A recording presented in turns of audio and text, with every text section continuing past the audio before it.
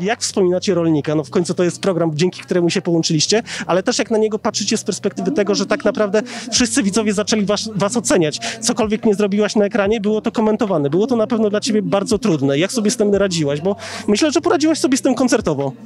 E, udział w rolniku to było dla mnie ogromne, emocjonalne, psychiczne wyzwanie. E, zarówno w trakcie, jak byłam, bo sytuacja była bardzo niecodzienna, że ledwo poznaję faceta, jadę, poznaję całą jego rodzinę, jeszcze oprócz tego są dwie dziewczyny, coś tak totalnie nienaturalnego, więc bardzo ciężko to znosiłam.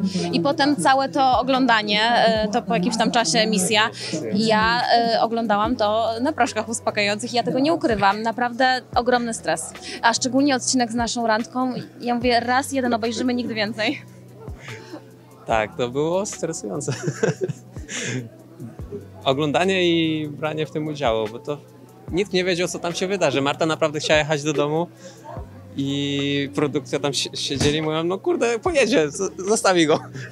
Ja mówię, że jak ty pojedziesz, to Agnieszka i Natalia też pojadą, bo mówię, no ja widzę, że tutaj coś czuję, więc po co trzymać tamte dziewczyny, robić im nadzieję. No i ta randka to była bardzo ciężka. I później jak to oglądaliśmy w telewizji, no to były emocje.